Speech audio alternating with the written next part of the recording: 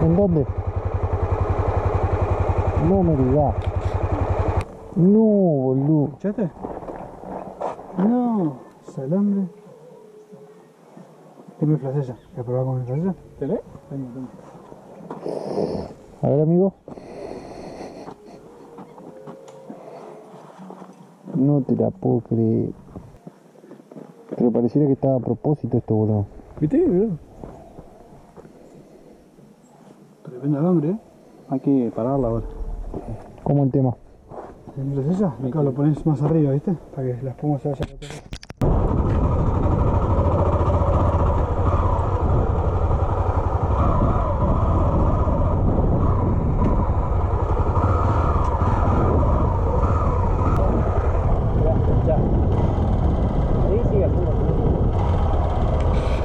Los muchachos. Eh, ahora les voy a mostrar. El está. Uy, hay dos cañas pescando.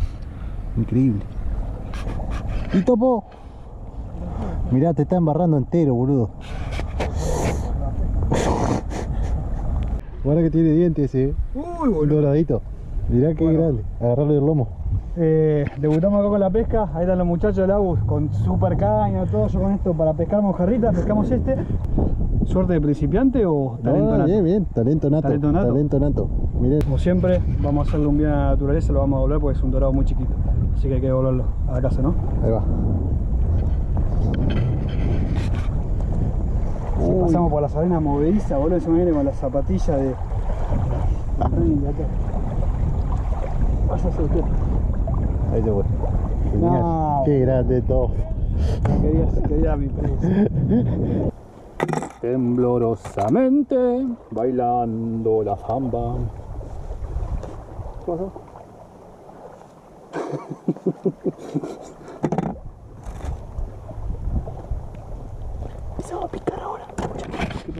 Es una centolla, ¿no? Cangrejo, no sé si es centolla. Y para mí el gran angular de la GoPro miente, pero es una centolla, ¿viste? Ah, lo sacamos con un filet de eh, piraña. Que, bueno, Topo quería comer piraña, pero era muy chiquita la que sacamos recién. Ahora vamos a ver si sacamos una más grande para darle el gusto de que pruebe la piraña. La verdad que es una carne bastante rica, luego que sí tiene que ser bastante grande para que no tenga tantas espinas. Porque cuando son chiquitas así, es un nido del loro la cantidad de espinas que tiene.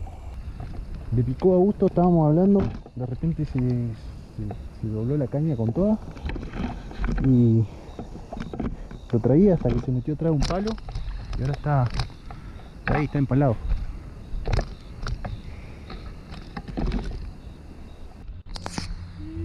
Está atrás del palo ahí, boludo.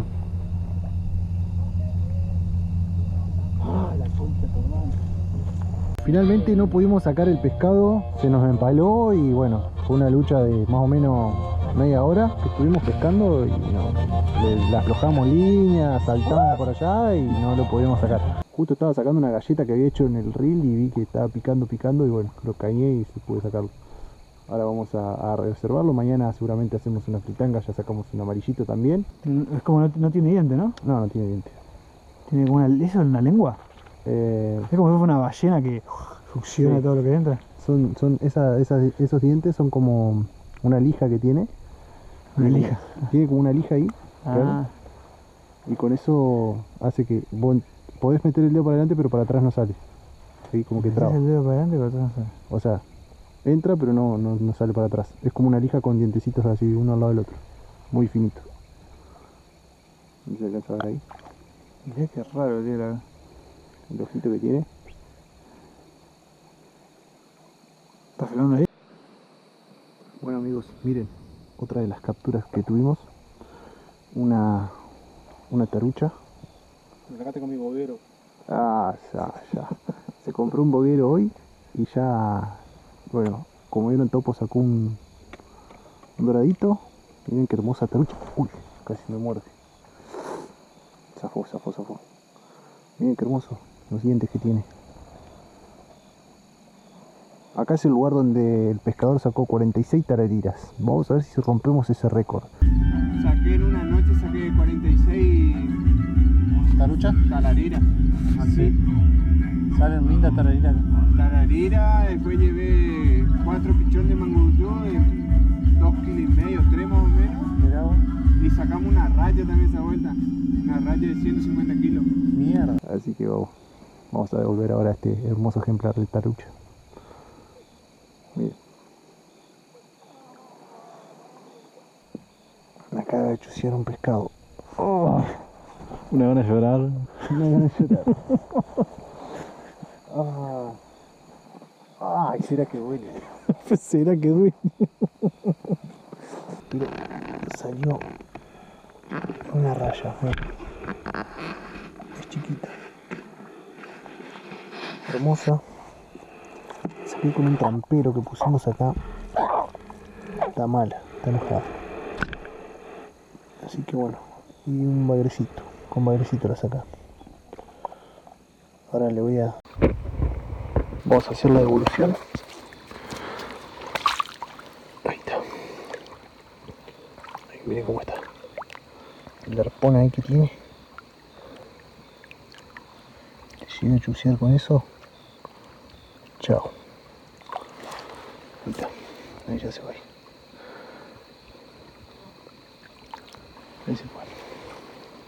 Voy a grabar así porque ya me quedé sin batería en la luz. Espero que me estén viendo bien. Voy a dormir acá a la intemperie. Eh, traje una bolsa a dormir, pero traje un aislante, una bolsa a dormir. Mañana les muestro cómo, cómo voy a amanecer. Bueno, guacho, acá amaneciendo. Miren cómo amaneció. Todo, todo, todo nublado. A ver, Topo. Uh, no, no está sacando nada, Topo. No te traemos más, Topo. Allá acamparon los vagos. Así que bueno, ahora a ver si no se larga a llover. Vamos a comer unos pescaditos que sacamos anoche. Vamos a preparar ahora los pescados que sacamos anoche. Sal. Pimienta. Lo vamos a hacer frito. A ver qué sale. Acá estamos haciendo los filés. Ahora lo vamos a preparar para hacer una fritanga. Estamos lavando bien. A mí, como les dije ayer, uno de los pescados más ricos que tenemos acá en el río para comer así. Eh, Germín, ¿ese es de los que le compraste a los pescadores hoy o...? Eh, No, no creo que lo haya comprado, me gastó, ¿o no? No, que voy a comprar. Toda la noche pescando estuve, amanecí pescando. Pero si el topo te ve como estabas durmiendo allá a las 11 de la noche. Te levantaste a las 9 recién ahí estaba durmiendo. Hay, hay pruebas, hay pruebas, yo tengo fotos. ¿No tenés foto? Foto, hay, hay, hay pruebas. Pescador de raza. Un isoca era ahí al lado de la cota. Me cayó un montón de.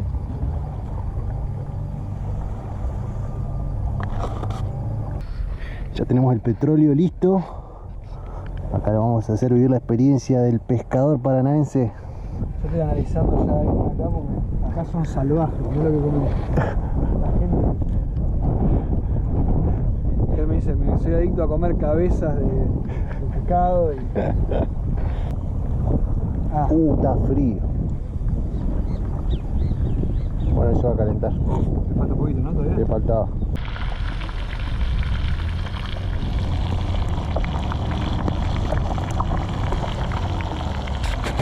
Están delicados, ¿eh?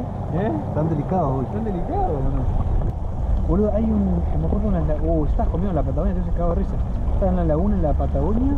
Me dicen que hay unas truchas danesas gigantes que como que la, eh, no son de ahí. O sea, las metieron ahí y. La cabeza del mandudé. Miren los ¿Se cachetes. murió? Pura carne. Para quien no lo conoce, Topo Ramones cruzó África para llegar a Qatar en una 110. ¿Tiene un libro? Y hoy está pescando acá con Soy Germi. Mira, podré ser un escritor eh, galardonado, prestigioso, pero soy tan pelotudo, ¿verdad? ¿quién va a venir con zapatilla blanca? No aprendí nada. ¿eh? Es un chiquero esto. Dice que Bueno. el viaje te da experiencia, no te da experiencia nada. Lo más loco que me pasó en África, una vez que me metí sin querer a la sabana, porque estaba, no podía enchufar el- y cargar la batería del celular y y de los dispositivos, entonces como no podía usar el GPS, en un momento me metí sin querer por un camino que una sabana, vi un cráneo de unos animales, veo, ahí me di cuenta que estaba completamente perdido, más que nada porque tenía un hipopótamo y un cocodrilo al lado, y ahí sentí miedo, eso, ese día sentí bastante, bastante miedo en África.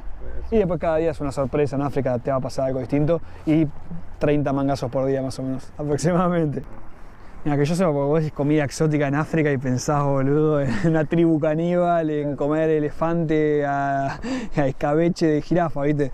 Eh, a ver, comía mucha comida típica ahí. Me pasó una vez que comí una especie de mondongo que era una cosa rara que no sé qué era. Muchas veces comías polenta con carne que estaba en salsa o en guiso, que no sabías tampoco la procedencia de esa carne.